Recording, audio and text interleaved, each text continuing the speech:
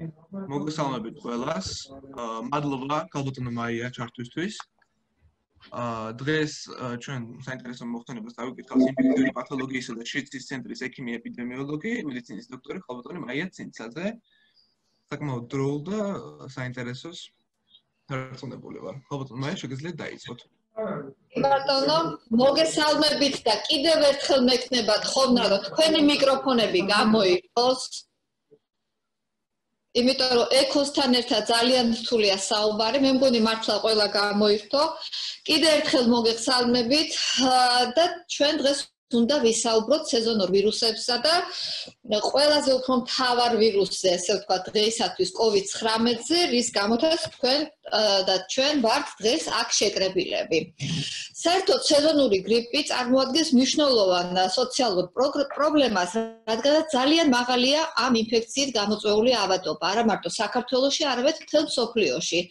და რატომ? იმიტომ რომ გრიპის ვირუსები ადვილად ვრცელდებიან, ადვილად გადაეცემიან ადამიანიდან ადამიანზე და დროის მოკლე შუალედში ისინი აღწევენ გლობალურ გავრცელებას. ანუ გავრცელებას არა მარტო ცალკეულ ქვეყანაში, არამედ მთლიანად თელ მსოფლიოში, როგორ ეპიდემიების და პანდემიების სახით. გრიპის სეზონური ეპიდემია ყოველწლიურად დაახლოებით 3-5 მილიონ ძიმე შემთხვევას იწვევს მსოფლიოში. ამას ემატება მსუბუქი შემთხვევები, რომლის გამოთაც არ მიდიან ექიმთან და რა თქმა უნდა შესაბამისად მათი სტატისტიკა არ ხდება და არ ემატება. ანუ შეიძლება ჩავთვალოთ, რომ ყოველწლიურად 5 მილიონზე მეტი შემთხვევა არის ამ ინფექციის მსოფლიოში გავრცელებული. მინდა გითხრათ, რომ სახელწოდებიდანაც გამომდინარეობს და დამეთანხმებით, რომ ამ ინფექციას ახასიათებს სეზონურობა და ეს არის, რომ მისი შემთხვევები განსაკუთრებით გვხდება ზამთარსა და გაზაფხულზე, თუმცა მინდა გითხრათ, რომ შემოდგომიდან იწყებს ახალი შემთხვევები, ასე ვთქვათ, წარმოშობას, ზრდას და პიკი უკვე დაავადების მოდის უკვე წლის ცივ პერიოდზე. როგორც ჩვენ აღნიშნეთ, სეზონური გრიპის ვირუსები მსოფლიოში ყოველწლიურად ცირკულირებს და ადამიანთა გრიპის ავადობას განაპირობებს.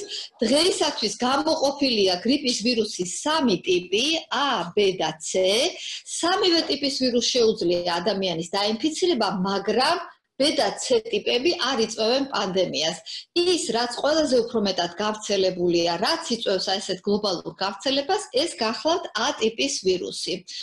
თქვენ ასევე გაგიგონიათ ალბათ, გარდა იმისა, რომ ეს A და B ტიპის ვირუსები ცირკულირებს დაუშვათ ქვეყანაში, ის რომ აი H1N1 ან H5N1 და სხვა დასახელება ასევე ვირუსებისა. რა არის ეს? მინდა იცოდეთ. ეს გახლავთ ასევე გრიპის ვირუსი, ოღონდ კერძოდ A ვირუსის, A გრიპის ვირუსის განსხვავებული ფორმები, ანუ განსხვავებული შტამები. და ეს განსხვავება განპირობებულია იმით, რომ A გრიპის ვირუსის ზედაპირზე არის სპეციფიური ცილა, ჰემაგლუტინინი და H-ით აღინიშნება და ამიტომ არის სწორედ პირველი აბრევიატურა ეს ასო. და მეორე გახლავთ მეორე ცილა ნეირამინიდაზა აღინიშნება ენასოთი. და სწორედ აი ამ ორი ცილების შემადგენლობა განსაზღვრავს ვირუსის შტამის კლასიფიკაციას.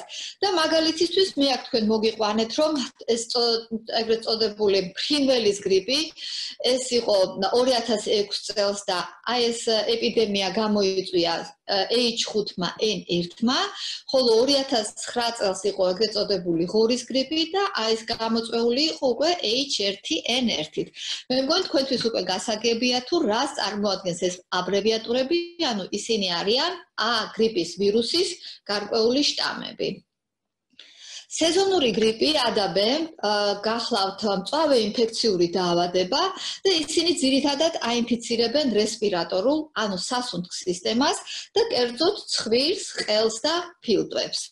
გადაცემის გზა თქვენ ძალიან კარგად იცით, რომ აი ეს სეზონური გრიპის ვირუსები გადაეცემა როგორ ჰაერწვეთოვანი გზით და ამ დროს ეს გამომწვევი ვირუსი ადამიანიდან, ანუ ვინც ინფიცირებულია, მეორე ადამიანს გადაეცემა დაცემინები, დახველები ძირითადად, ასევე შეიძლება გადაეცეს საუბრით, თუ არის დისტანცია ახლო და ასევე შეიძლება გადაეცეს კონტაქტით, ანუ აი ვირუსთან ვირუსით დაბიძურებულ საგნებთან ან სხვადასხვა ზედაპირებთან შეხების დროს. აი ამიტომ არის აუცილებელი, რომ ჩავატაროთ დეზინფექცია მყარი საგნების და სხვადასხვა ზედაპირების. ახასიათებს თუ არა გრიპ სიმპტომები. რა თქმა უნდა, ახასიათებს და რომელი ტიპის ვირუსიც არ უნდა იყოს, პრაქტიკულად მსგავსი სიმპტომები ახასიათებს. მიმდინარეობის მიხედვით შეიძლება იყოს მსუბუქი და ასევე მძიმე მიმდინარეობის და მძიმე მიმდინარეობა შეიძლება ისე გართულდეს, რომ სამწუხაროდ ლეტალურადაც დამთავრდეს. როგორც თქვით, გრიპი იწება იწება მწვავედ, იგივე კოვიდის გასხოვებით, კოვიდი უფრო ნელ-ნელა და ესე იგი ნელ-ნელა ხდება სიმპტომების გამოვლენა, აი გრიპის შემთხვევაში ხდება უეცრად რამოდენიმე სიმპტომის ერთად გამოვლინება. განსაკუთრებით არის საერთო სისუსტე გრიპის შემთხვევაში, ცხელება 38 გრადუს ცელსიუსსა და მეტი, ხველა, ფარინგიტი, ანუ ყელის ტკივილი, ცხვირიდან გამონადენი, შეიძლება იყოს თავის ტკივილი, სახსრების და კუნთების ტკივილი და იშვიათად შეიძლება აღინიშნებოდეს დიარეა, ანუ კუჭის აშლილობა ან ღებინება. აი ძირითადად როგორც თქვით გრიპი მიმდინარეობს სუბუქად ჩვენ არაერთხელ გადაგვიტანია ეს იგივე გაცებით დაავადებებს რო უწოდებთ, ხო? და სულაც არ გაგვიკეთებია მაგალითად ლაბორატორიული დიაგნოსტიკა თუ რა გვჭირდა, იმიტომ რომ ვიცით რომ ეს არის გრიპი, სეზონური ინფექცია, რომელსაც გარკვეული პერიოდის შემდეგ, დაახლოებით 5-7 დღის შემდეგ ალაგდება ის და ადამიანი უკვე გამოჯანმრთელდება. მაგრამ თუ გართულდა, მან როგორც უკვე გითხარით, შეიძლება ლეტალური გამოსავალიც კი მოგვცეს.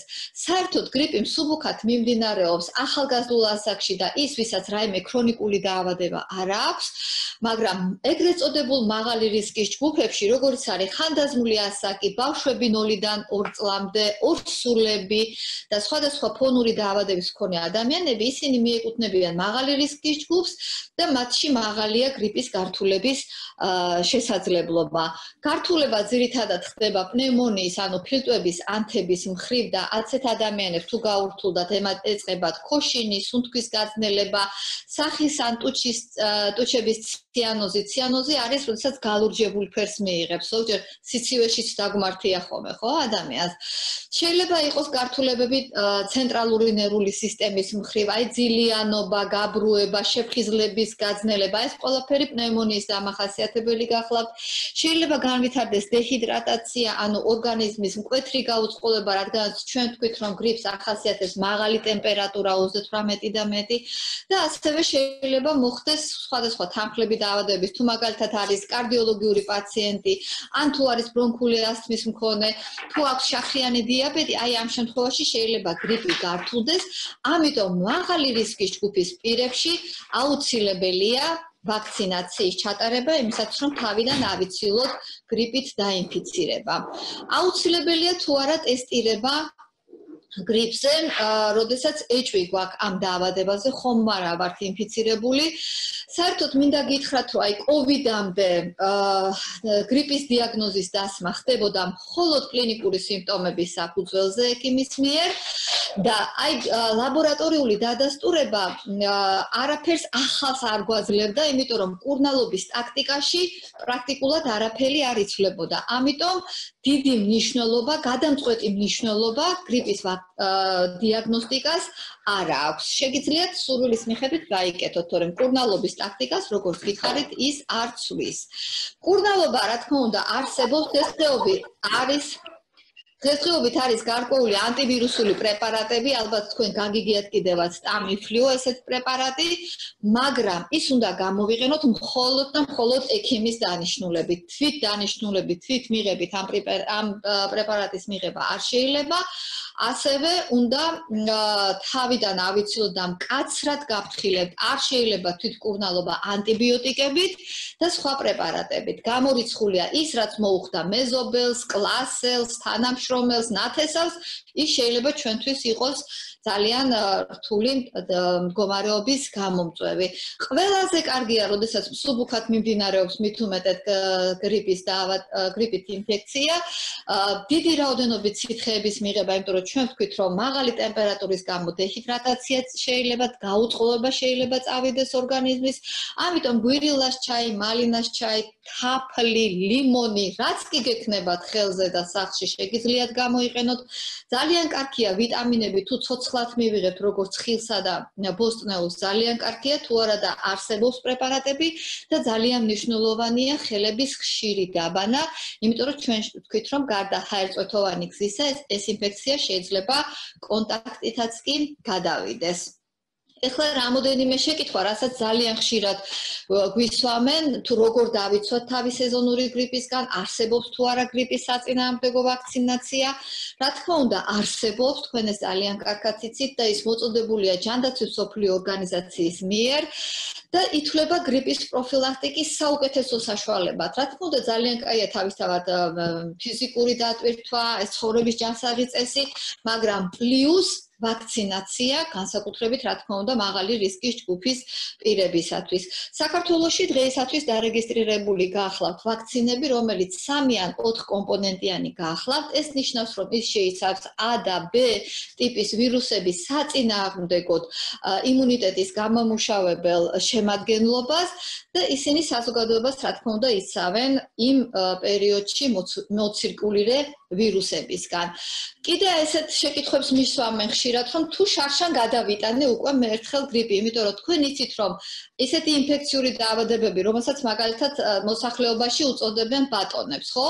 წითელა, ჩუტყვავილა, კუნთრუშა და ასე შემდეგ. ჩვენ ვიცით, რომ თუ ამ დაავადებებს ერთხელ გადავიტან, ჩვენ ორგანიზმში გამომუშავდება მყარი იმუნიტეტი და ეს დაავადებები აღარ დაგვემართება.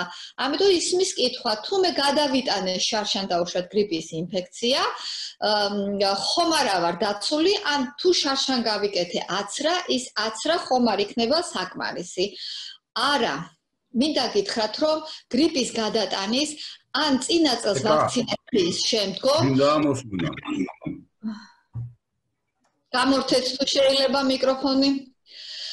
ანუ ყალიბდება ამ შემთხვევაში არა მყარი, არამედ დროებით იმუნიტეტი. ამ დროებით იმუნიტეტის ხანგრძლივობა გახლავთ 6 თვიდან 1 წლამდე. ეს მრავალ ფაქტორზე არის დამოკიდებული. შეიძლება იყოს ადამიანის ასაკზე, ჯანმრთელობის მდგომარეობაზე, ასევე იმაზე თუ რამდენ კომპონენტიანია, რომელი შემადგენლობის არის ვაქცინაცია და ასე შემდეგ. და ასე რომ გრიპის ვირუსისაგან თავის დასაცავად აუცილებელია რომ მოხდეს ყოველწლიური ვაქცინაცია. ჩვენ წინა წელს ავიცარით თუ გადავიტანეთ ეს ინფექცია. როდის ჩავიტაროთ ვაქცინაცია? ეს ის ძალიან მნიშვნელოვანი მომენტი გახლავთ. ჩვენ თქვით რომ ეს არის სეზონური გრიპი და ახასიათებს სეზონურობა როდის? ზამთარში და გაზაფხულზე, ხო? და იმისთვის რომ იმუნიტეტი ჩამოყალიბდეს, ამას გარკვეული დრო ჭირდება 10-დან 2-3 კვირა. ამიტომ აცრა უნდა ჩავიტაროთ როდის აუცილებლად სანამ დადგება გრიპის სეზონი, ხო? და ამისთვის ყველაზე კარგი გახლავთ და საუკეთესო დრო გახლავთ ოქტომბერი და ნოემბრის დასაწყისი. ანუ აი ახლა ჩვენ ვიმყოფებით ზუსტად იმ პერიოდში, როდესაც სასურველია ჩავიტაროთ ვაქცინაცია, რათა ჩვენთან აი ეს დროებითი იმუნიტეტი გამომუშავდეს, მოასწროს იმუნიტეტმა გამომუშავება და გრიპის სეზონს ის შეხვდეს, ესე ვთქვათ, უკვე აქტივირებული. მე მაგალითად ორშაბათს ავიცერი, ასე რომ შემიძლია დამშვიდებით ვიყო, რომ A და B ჯგუფის ვირუსები არ შემხვდება, იმედია. არის თუ არა გრიპის ვაქცინა უსაფრთხო? ესეც ძალიან მნიშვნელოვანი მომენტი არის. აღმოჩნდა რომ გრიპის ვაქცინა გახლავთ ერთ-ერთი ყველაზე უსაფრთხო სამედიცინო პროდუქტი, რომლითაც ბოლო 50 წლის განმავლობაში მსოფლიოს მასშტაბით 100 მილიონზე მეტ ადამიანზე მეტი იქნა აცრილი და რაც მთავარია გართულებების გარეშე. თუმცა როგორც გითხარით, აი ფონური დაავადებების, იგივე აი რისკის ჯგუფის ადამიანებში შეიძლება მისცეს რაღაცა ესეთი ცირე გართულება, თუნდაც ადგილობრივი, მაგრამ სარგებელი უფრო მეტია და ესეთი გართულებები პრაქტიკულად ამ ვაქცინას არ ახასიათებს. კიდევ ისვება ესეთი შეკითხვები, ხომ არ არის შესაძლებლობა ვაქცინამ გამოიწვიოს ეს დაავადება ვაქცინაციის შემდეგ, თუნდაც მსუბუქი ფორმით. არ შეუძლია გამოიწვიოს დაავადება, იმიტომ რომ ის წარმოადგენს ვირუსის ინაქტივირებულ სახეცვლილ ფორმას და მას შეუძლია მხოლოდ იმუნიტეტის გამომშავება. ის არ არის იმდენად აქტიური, რომ მან გამოიწვიოს თვითონ დაავადება. ამიტომ არ შეგეშინდეთ ვაქცინაციის ჩატარება, პირიქით მოგიწოდებთ, რომ გაიკეთოთ და თავი დაიცვათ აი ამ სეზონური გრიპებისგან. ეხლა რაც შეეხება ჩვენ ძირითად თემას, ანუ ახალა ახალი კორონავირუსით გამოწვეულ ინფექციას, რომელმაც მთლიანად შეცვალა არა მარტო ჩვენი, არამედ მსოფლიოს დღევანდელი მაჯისცემა, ეს გახდათ 2019 წლის დეკემბრიდან მოყოლებული, როდესაც ჩინეთის ჰუბეის პროვინციის ქალაქ უჰანში გამოვლინდა ვირუსი, რომელმაც გამოიწვია მძიმე მწვავე რესპირაციული სინდრომი, აღმოჩნდა რომ ეს ვირუსი იყო ცნობილი ვირუსების ოჯახიდან, მას კორონავირუსები ქვია ამ ოჯახს, იგი ცნობილი იყო მეცნიერებისთვის, მაგრამ ეს იყო რაღაცა ახალი ტიპი, ასევეც უწოდებენ, ხო? ახალი კორონავირუსული ინფექცია. იგი სწრაფად გავრცელდა სამწუხაროს ჩინეთის საზღვრებს გარეთაც და ჯანმრთელობის დაცვის ორგანიზაცია იძულებული გახდა, რომ მიმდინარე წლის 30 იანვარს მხარს ეღიარებინა ეს დაავადება როგორც საერთაშორისო მნიშვნელობის მქონე საზოგადოებრივი ჯანმრთელობის განსაკუთრებული მდგომარეობა, ხოლო უკვე 11 მარტს ეს დაავადება გამოცხადდა როგორც პანდემია ანუ სოფლიო ეპიდემია. მინდა გითხრათ, რომ აი 21 საუკუნისთვის ეს მესამე ზონოზური კორონავირუსული აფეთქება, სადაც მოხდა ზონოზური რას ნიშნავს, რომ ანუ ეს არის ცხოველიდან ცხოველზე გადამდები ინფექცია, ხო? მაგრამ ეს ინფექცია უკვე გადავიდა ადამიანიდან ადამიანზეც და უკვე შექმნა შემდეგ გლობალურ ჯანმრთელობის გლობალური პრობლემა. მე აქ თქვენ მოგიყვანეთ ლინკი, სადაც შეგიძლიათ თქვენ ყოველ დღე შეხვიდეთ და გაეცნოთ თუ რა მდგომარეობაა მსოფლიოსა და საქართველოში ამ ვირუსის გავრცელების მხრივ სტატისტიკური მონაცემების მხრივ. და 21 ოქტომბრის მონაცემებით თქვენ ხედავთ რომ 41 მილიონ 353000-ზე მეტი შემთხვევა იყო რეგისტრირებული, გარდაიცვალა 1.333-ზე მეტი ადამიანი, მაგრამ სასიხარულოა ის, რომ თქვენ ხედავთ, რომ ნახევარზე მეტი აი ამ რეგისტრირებული შემთხვევიდან გამოჯამრთელდა. რაც შეეხება საქართველოს 21000-ზე მეტი ადამიანია ინფიცირებული, ცუდია რომ ყოველდღიური შემთხვევების რიცხვი უკვე 1000 საჭარბებს. გარდაიცვალა სამწუხაროდ 172 და გამოჯამრთელდა 10000-ზე მეტი.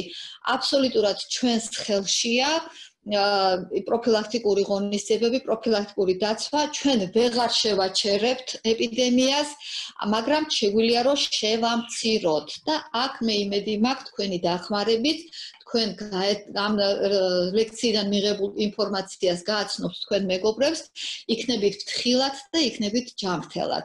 როგორც გითხარით, კორონავირუსების ოჯახს მიეკუთვნებიან COVID-19, მათ შეუძლიათ გამოიწვიონ როგორც ნაკლებად მძიმე დაავადება, ანუ აი ჩვეულებრივი გაცივება, რასაც ვეძახით, ჩვენ როგონია რომ ის გავცივდით რაღაცა დაბალი ტემპერატურის გარეთ აციების გამო, სინამდვილეში მისი გამოწვევა გახლავთ ისევ კორონავირუსი, მაგრამ ეს არის ნაკლებად მძიმე დაავადება, მაგრამ მათ ასევე შეუძლიათ გამოიწვიონ უფრო მძიმე დაავადებები, როგორიც არის თვითონ COVID-19 ინფექცია, ასევე SARS-ი და MERS-ი, ეს ასევე ჩვენს 21 საუკუნეში ხდებოდა ეს ინფექციები და ამაზე გესაუბრებით ცოტა ქვემოთ.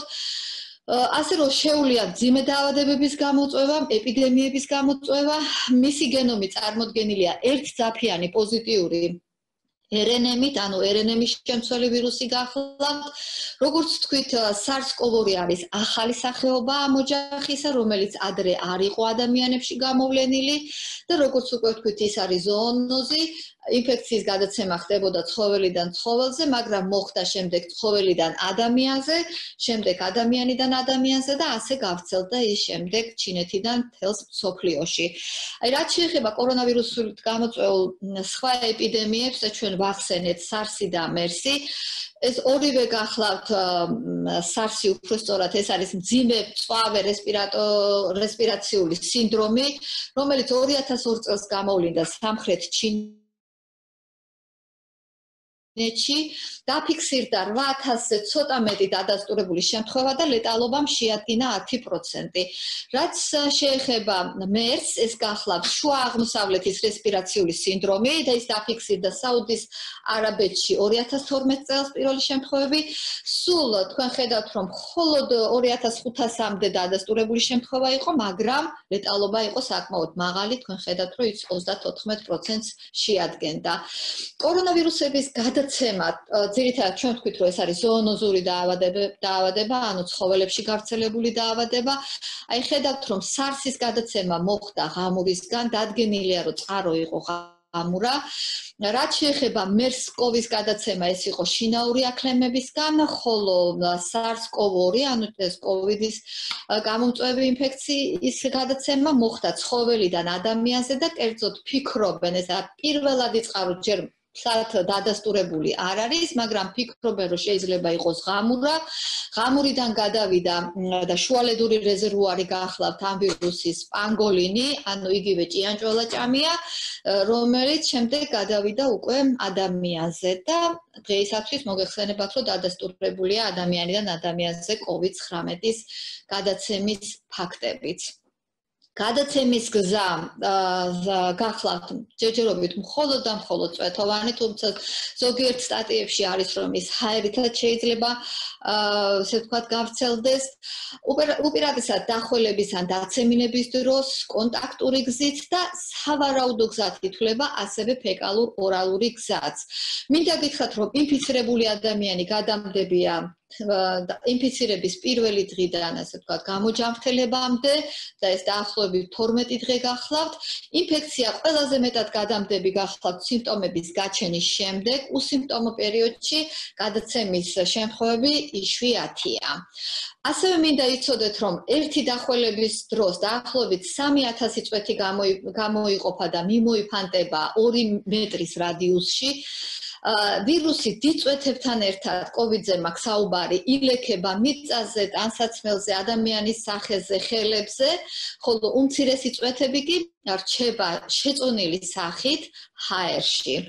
ამიტომ ესე იგი დადგენილია რომ COVID-19 ვრცელდება რესპირაციული წვეთების მეშვეობით, როდესაც ინფიცირებული მჭიდრო კონტაქტში და მჭიდრო კონტაქტად იგულისხმება 2 მეტრზე ახლო მყოფი ადამიანები და მათ შორის საუბრობს, ახველებს ან აცემინებს. აი ამიტომ ვიძახით სულ რომ საჭიროა დისტანციის დაცვა.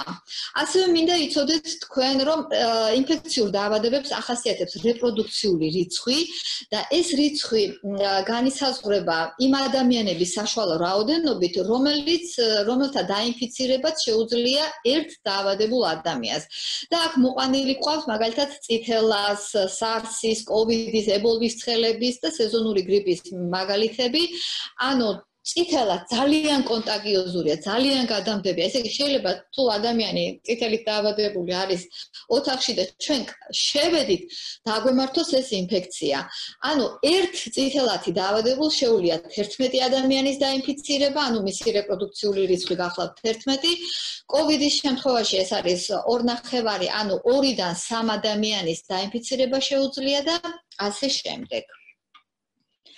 საერთოდ მინდა გითხრათ, რომ ძნობი არის ვირუსი არის ультраისფერის სხივების და მაღალი ტემპერატურის მიმართ. გარემოში ძლებს რამდენიმე დღედან, ну, ამბობენ, რომ კანზეც შეუძლია 9 დღე გაძლოს, ამიტომ მუდმივად უნდა ხდებოდეს ხელების დამუშავება და ხელების ჰიგიენის ჩატარება. 56 გრადუსზე ცოცხლობს 30 წუთის განმავლობაში და ვირუსი კარგად ექვემდებარება, ინაქტივირდება სადეზინფექციო საშუალებების გამოყენებით. ეხლა მინდა რა რამოდენიმე სლაიდი გაჩვენოთ თვითონ კლინიკასთან დაკავშირებით ძალიან სუბუქად. მინდა იცოდეთ, რომ ხოლო ფილტვებს ეს ვირუსი არ აზიანებს და ფილტვების შემდეგ აზიანებს სიზარღვებს, თავის ტვინს, გულს, ღვიძლს, საჭმლის მომნელებელ სისტემას და თქვენ წარმოიდგინეთ თირკმელებსაც კი. მაგრამ ძირითადად მაინც ხდება ფილტვებისა და სიზარღვების დაზიანება. ანუ ეს არც ისე მარტივი ინფექცია გახლავთ, არც ისე მარტივი დაავადება გახლავთ და აუცილებელია ყველა შემთხვევაში ყურადღების გამოჩენა. აქ მე მოგიტანეთ სიმპტომები, ესე ვთქვათ, ხშირად შემხვედრი სიმპტომები და უფრო ნაკლებად შემხვედრი სიმპტომები, როდესაც ყურადღება უნდა გავამახვილოთ, რომ ხომ არა ვართ ან ჩვენ არ ჩვენი გვერდით მყოფი ადამიანები ამ ვირუსით ინფიცირებული. ყველაზე მეტად ხდება ცხელება, ზოგადი სისუსტე, უმადობა ხდება, ყელის ტკივილი, ხველა, მშრალ ხველაზე არის საუბარი აქ. ყნოსვის დაკარგვა და გემოსვლება, ეს ძალიან დამახასიათებელია. ეს შემთხვევათა 40-45%-ში ჩვენი პრაქტიკიდან ხდება აი ყნოსვისა და გემოსვლება ასეთ პაციენტებში. კუნთების ტკივილი განსაკუთრებით ბეჭისა და წელის მიდამოში, თავის ტკივილი, სუნთქვის გაძნელება, ქოშინი, ეს უკვე ფილტვების ანთების მაჩვენებელია, ხო? შეიძლება იყოს ზეწოლა და ტკივილი გუმკერდის არეში, რაც ყურადღება მისაქცევია. იშვიათად შეიძლება გამოვლინდეს სურდოს სახით, დიარეის სახით, მუცლის ტკივილით, გაბრუებით და ცნობიერების დაბინდვით, შეიძლება პირიქით აგზნებადობა წამოვიდეს. ციანოზი შეიძლება იყოს როგორც თქვით კონიუნქტივიტი და შეიძლება განვითარდეს ძალიან იშვიათად გამონაყარი. მინდა იცოდეთ, რომ აი მიმდინარეობის მიხედვით ჩვენ თქო ვთქვით, რომ სეზონური გრიპი შეიძლება იყოს მსუბუქი და შეიძლება იყოს მძიმე მიმდინარეობის და გართულდეს. აი აქ გვაქვს 4 სახის მიმდინარეობა. ეს არის მსუბუქი, საშუალო მიმდინარეობა, მძიმე მიმდინარეობა და კრიტიკული მძიმე მიმდინარეობა. კრიტიკულად მძიმე მიმდინარეობა, როდესაც ადამიანს უკვე სჭირდება რეანიმაციული დახმარება. ეს მიმდინარეობები მოგიყვანეთ იმიტომ, რომ მსუბუქი მიმდინარეობის კოვიდის დროს იმის გამო რომ ძალიან არ გადაიტვირთოს და კლინიკები საჭიროა ესეთი პაციენტები დარჩნენ სახლში და სახლში ოჯახის ექიმის მეთვალყურეობის ქვეშ წარიმართოს დაავადების მართვა. მაგრამ თუ არის საშუალო მიმდინარეობის, ან ძიმე მიმდინარეობის, ის აუცილებლად უნდა იყოს გადაყვანილი კლინიკაში, ნუ აღარაფერს ვამბობ კრიტიკულად ძიმე მიმდინარეობაზე. თუმცა ბინაზე მკურნალობის გადაწყვეტილების მიღება ხდება ოჯახის ექიმის მიერ და აქ არა მარტო ამ პაციენტის ჯანმრთელობის მდგომარეობა უნდა შევაფასოთ, რომ ეს მართლა მსუბუქია თუ არა ეს მდგომარეობა, არამედ პაციენტის საცხოვრებელი სახლის პირობების უნდა შევაფასოთ. ანუ არის თუ არა იმის საშუალება, რომ იზოლაციაში იყოს ინფიცირებული ადამიანი, არის თუ არა იქ დაუშვათ ინდივიდუალური დაცვის საშუალებები, არის თუ არა წამლების მიწოდების საშუალება, ხა თბილისში ძალიან კარგი არსებობს ეს მიწოდების სერვისი, ხო? და გამოიძახებდა წამალს მოგიტანს, პროდუქტს მოგიტანს. თუ არ არის ამის საშუალება, არის თუ არა რომ ფინანსზე დატოვებულ ადამიანს ეს პროდუქტი ვიღაცამ მიაწოდოს. არის თუ არა აი ინტერნეტი ან ტელეფონი, რომ ასეთ პაციენტთან დაკავშირება მოხდეს ყოველდღიურად, ხო, რომ შეაფასო ჯანმრთელობის მდგომარეობა. ანუ გადაწყვეტილებას ფინანსზე დატოვებაზე იღებს ექიმი და ასევე ბინიდან ხდება ამ სუბუქი პაციენტების მართვა. დანარჩენ შემთხვევაში პაციენტები უნდა იყოს გადაყვანილი აუცილებლად კლინიკაში. კიდევ ერთი მომენტი, შეიძლება ადამიანი იყოს უსიმპტომო, სუბუქი სიმპტომების მქონე, მაგრამ ჩვენი პრაქტიკიდან გამომდინარე მე-5, მე-6, მე-7 დღიდან შეიძლება უფრო მოგვიანებითაც, მაგრამ აი უფრო ხშირად მე-5 დღიდან, მე-6 დღიდან იწყება გარკვეული სიმპტომების გამოვლინა. თუ ეს პაციენტი აღარ არის უსიმპტომო, თუ მსუბუქი სიმპტომები გარკვეულწილად მძიმდება, მაშინ აუცილებლად უნდა მოხდეს დაკავშირება 112-თან. და ესეთი საგანგაშო ნიშნები, როდესაც ჩვენ უკავშირდებით 112-ს, გახლავთ სუნთქვის გაძნელება ან ქოშინი, ინტენსიური ტკივილი ან ზეწოლა გუმკერდის არეში, ძმავეთ განვითარებული ცნობიერების დარღვევა ან გამოფხიზლების შეუძლებლობა, ტუჩებისა სახის მოლურჯო შეფერილობა. თუმცა მინდა გითხრათ, რომ საგანგაშო ნიშნები მხოლოდ ამით არ ამოიწურება და თუ უსიმპტომოა მსუბუქი სიმპტომების მქონე პაციენტს რაღაცა მდგომარეობა, სხვა კლინიკური არაც ჩვენ წინა სლაიდზე ჩამოვთვალეთ, რომელიმე კლინიკური ნიშნები გამოულინდება, მაშინ აუცილებლად მან უნდა დაუკავშირდეს ან პასთორმეს ან თავის ოჯახის equipes. დიაგნოზის დადგენა თქვენ ესეც უკვე კარგად იცით, რომ ძირითადად ხდება PCR მეთოდით, პოლიმერიზაციის ჯაჭვური რეაქციით და ეს არის დღესდღეობით ოქროს სტანდარტად მიღებული, მაგრამ მინდა გითხრათ, რომ საკმაოდ ძვირადღირებული ტესტია, ტექნოლოგიურადაც ძნელი გასაკეთებელია და საკმარისი მარაგები თელ მსოფლიოში არ არის, ამიტომ გარდა PCR ტესტისა გამოიყენება იმუნოფერმენტული ანალიზის ან სტრაფი მარტივი მეთოდების გამოყენება, მაგალითად ჩვენ ვიყენებთ ანტიგენის ტესტ, სტრაფ ტესტ, ეს არის ზემოსასუნთქი გზებიდან აღებულ ნაცხში SARS-CoV-2-ის გამოვლენა, თუ საეჭო მივიღეთ სტრაფით მეთოდით, ხო, შემდეგ ხდება უკვე დადასტურება დიაგნოზის უკვე PCR მეთოდის გამოყენებით. დღესდღეობით არ არსებობს სპეციფიური ანტივირუსული მკურნალობა, რომელიც გამოჯანმრთელებას გამოიწვევდა, თუმცა შესწავლის ფაზაშია და ეს თქვენს კარგად იცით, რომ მიმდინარეობს ყოველ დღიურად სულ ახალი მეთოდების გამოგონება, რომელიც თუ არ გამოაჯანმრთელებს, თემაიც შეამსუბუქებს აი ამ ძიმე მიმდინარეობას და შეამცირებს ლეტალობას. და მინდა გითხრათ რომ კურნალობის ტაქტიკა დამოკიდებულია დაავადების სიმძიმეზე, მსუბუქი და საშუალო სიმძიმისას პრაქტიკულად არ ჭირდება მკურნალობა და თუ რამეა დამხმარე მკურნალობა ან სიმპტომური მკურნალობა უნდა ჩაუტარდეს. ძირითადად მკურნალობა ხდება კლინიკებში და ეს გახლავთ მძიმე და კრიტიკულად მძიმე პაციენტების მკურნალობა. მსუბუქად მიმდინარე კოვიდის შემთხვევაში ჰოსპიტალიზაცია როგორც თქვით აუცილებელი არ არის, მაგრამ აუცილებელია რა? იზოლაცია. ეს პაციენტი უნდა იყოს მოცილებული ოჯახისგან და სხვა საზოგადოების სხვა წევრებისგან. პროგნოზი ძირითადად კარგია და ჩვენ აი სოფლიო სტატისტიკით ვნახეთ, რომ ნახევარზე მეტი ინფიცირებული ადამიანების არის გამოჯანმრთელებული, მაგრამ შეიძლება დაავადება და ხშირად ლეტალურად და არასახარბიელო გამოსავლით მთავრდება, თუ ის მიეკუთვნება მაღალი რისკის ჯგუფს და ესეთი მაღალი რისკის ჯგუფი არის ხანდაზმული ადამიანები სამწუხაროდ აი 65 წელი და ზემოთ, თუმცა ეს აპრიორი არ არის, თქვენ იცით რომ არის დაფიქსირებული სიკვდილის შემთხვევა უფრო ახალგაზრდა ასაკის მქონე პირებში. შეიძლება იყოს ეს გულსიზრახთა დაავადებების და ჰიპერტენზიის მქონე პირები განსაკუთრებით ეს ადამიანები უნდა იყვნენ ძალიან ფრთხილად.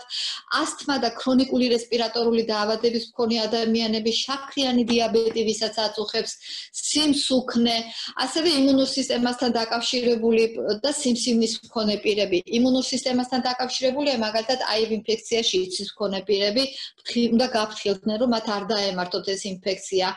ასევე აფთუსებიანი სიმსივნეები ვთქვით და ასევე რისკ ფაქტორს მიეკუთვნება თამბაქოს მოხმარება, იმიტომ რომ როგორც უკვე ვთქვით, ჩვენ ეს ვირუსი არის რესპირაციული, ურტყამს პირდაპირ ფილტვებს. თქვენ სურათზე ხედავთ, აი როგორია ჯამრთელი ფილტვი და დაზიანებული ფილტვი, ხო? თამბაქოს მოწევის შემდეგ, რომ თქვენთვის ნათელი ყოფილიყოს, რამდენად ცუდია თამბაქო ისედაც კოვიდის გარშეც ადამიანის ჯამრთელობისთვის. ეხლა როგორ დავიცვათ თავი კორონავირუსით გამოწვეული ინფექციისგან? ეს თქვენ ძალიან კარგად იცით, ამიტომ ძალიან სწრაფად გავიაროთ. რა თქმა უნდა, უნდა მოვერიდოთ რესპირაციული ინფექციის მქონე ადამიანთა კონტაქტს. ნუ ჩაეხუტებით და ნუ გადაკოცნით, მაგრამ მაინც ვინც აცემინებს, ახველებს, შეიძლება უსიმპტომოდაც იყოს. არ არის მიზანშეწონილი აი სეზონური გრიპების დროს ჩახუტება და გადაკოცნა. ასევე აუცილებელია ინდივიდუალური დაცვის საშუალებების გამოყენება, როგორც არის ნიღაბი, ხელსათმანი ეჭი ჯერადი ხალათი, სახის ფარი. თუმცა მინდა გითხრათ, რომ მარტო სახის ფარი საკმარისი არ არის, უნდა იყოს აუცილებლად მიღავიც გამოყენებული. უნდა დავიცვათ ხველებისა და დაცემინების ეტიკეტი, ხელების ჰიგიენა და დისტანციის დაცვაზე უკვე ვისაუბრეთ. თქვენ ძალიან კარგად იცით, რომ აი სახის დასაცავად გამოიყენება ქირურგიული ნიღაბი ან რესპირატორი. რესპირატორი ძირითადად ექიმები მუშაობენ, როდესაც უშუალოდ პაციენტებთან არიან შეხებაში. სამედიცინო ნიღაბის დანიშნულება ეს არის მიკრობებისა და ბაქტერიებისგან ორგანიზმის დაცვა და მინდა კაცრად გაგაფრთხილოთ, რომ ნიღბის არასწორმა გამოყენებამ შესაძლოა დასნებოვანების რისკი შემცირების ნაცვლად გაზარდოს. ამიტომ ყოველთვის სწორად უნდა გავიკეთოთ ნიღაბი. რატომ უნდა გამოვიყენოთ და მე რეკომენდაციას უწევ სამედიცინო ნიღაბს. ნახეთ, აი ქირურგიულ ნიღაბს რასაც უწოდებენ, ხო? იმიტომ რომ ის შედგება სამი შრისაგან. გარეთა შრე, ეს ცისფერი მხრიდან უნდა გავიკეთოთ გარეთა შრე. ეს არის ჰიდროფობული შრე, რომელიც არ იწოვს წყალს, სისხლს და სხვა ბიოლოგიურ სითხეებს. ანუ ხდება ასხლეტა, აი მიკროორგანიზმების, რომელიც ესე ვთქვათ, ხდება ნიღაბს გარედან. თუ მაინც გავიდა აი ამ გარეთა შრეში, შემდეგ მას ხდება შუაშრე, რომელიც წარმოქმნილი გახლავთ ფილტრით და ის აკავებს უკვე მიკროორგანიზმებს, ხოლო შიგნითა თეთრი შეფერილობის შრე გახლავთ ჰიდროფილური შრე, რომელიც იწავს რესპირაციულ სითხეებს. აი ამიტომ სასურველია სწორედ ქირურგიული ნიღაბის გამოყენება. რაც შეეხება სწორტარებას, არ გვიკეთია ცხვირის ქვემოთ, ნიკაპის ქვემოთ, თავზე და ასე შემდეგ, არამედ გვიკეთია ისე რომ სულად დაფაროს ცხვირი პირი და ნიკაპი და რაც შეიძლება მოხსნას ძალიან დიდი ხა გაკეთებას სუფთაა ხო ჯერ თვითონ ნიღაბი მაგრამ მოხსნას აქვს ძალიან დიდი მნიშვნელობა. თვითონ ნიღაბს არ უნდა მოვკიდოთ წინიდან ხელი არამედ უნდა ვიმეგობროთ ფასმებთან ან რეზინებთან და აი მათი მეშვეობით გავიკეთოთ ან მოვიხსნათ ეს ნიღბები აქ არის წარმოქმნილი დახველების და დაცემინების ეტიკეტი ანუ არაფრით ხელი არ უნდა მივიფაროთ. უნდა იყოს ეს მოხრილი იდაყვი სასარში მოხრილი იდაყვი ხოთი ან უნდა გამოვიყენოთ ერთჯერადი ცხვრის ახოცი, რომელსაც გამოყენებისთანავე გადავაგდებთ ურნაში. ხელის დაბანაზე მე არ შევჩერდები, ეს თქვენ ძალიან კარგად იცით, ძალიან კარგად უნდა დავიბანოთ ხელი, გავისაფნოთ და დავიბანოთ. როგორც გვერდითი ზედაპირები, თითებს შორის არეები, ასევე მაჯები უნდა იყოს კარგად დაბანილი 20 წამის გავალობაში მიმდინარეობს ეს დაბანის პროცედურები. შემდეგ უნდა გავიმშრალოთ. არავითარ შემთხვევაში სველზე ყველაზე არ გამოიყენოთ სანიტაიზერი, იმიტომ რომ ამ შემთხვევაში მოხდება მისი განზავება და კონცენტრაცია შემცირდება. გავიმშრალოთ ხელი კარგად და სანიტაიზერი შემდეგ გამოვიყენოთ. სახელი სანიტაიზერი შეიძლება მაშინაც გამოიყენოთ, როდესაც არ აგაქვთ საფნისა და წყლის საშუალება. დაუშვათ ქუჩაში ვართ, ხო? უნდა გქონდეთ ხელი სანიტაიზერი, ეს ალკოჰოლის ფუძეზე დამზადებული ხსნარი გახლავთ და უნდა შეიცავდეს სულ მცირე 60% ალკოჰოლს. და ამ ალკოჰოლის შემცირება თქვენ შეგიძლიათ ნახოთ ეტიკეტზე. სანიტაიზერებით ხდება მიკრობების მნიშვნელოვანი რაოდენობის სწრაფი შემცირება, მაგრამ ის არ იქნება ეფექტური თუ ესეთი ხილული დაბინძურება. ამიტომ ჯერ მაინც უკეთესია რომ მოხდეს საპლითა და წყლით ჩამობანა და სანიტაიზერით შემდეგ დამუშავება. ძალიან დიდი მადლობა ყურადღებისთვის. მე მგონი ის რისი თქმაც მინდოდა და ის რაც აუცილებელია თქვენ გწოდნოდათ ეს საკითხები, ეს ინფორმაცია მოგაწოდეთ. თუ შეკითხვები იქნება თქვენ შეგიძლიათ ეს შეკითხვები მე გადმომიგზავნოთ ან ეხლაც დამისვათ თუ მოვასწარით დრო რამდენი გვაქვს საბადონო ავთო? სამწუხაროდ დრო მეტი არა გვაქვს თუ შეკითხვები იქნება შეგიძლიათ ლიკას მიაწოდოთ ან ნიკას მიაწოდოთ და მე წერილობით გავცემ ყველა მასზე ყველა შეკითხვაზე პასუხს. გისურვებთ ჯანმრთელობას. კარგად იყავ. მეც ჯანმრთელობას გისურვებთ. დიდი მადლობა ხალბატონო მაია. აი ხარ, კარგად. კარგად.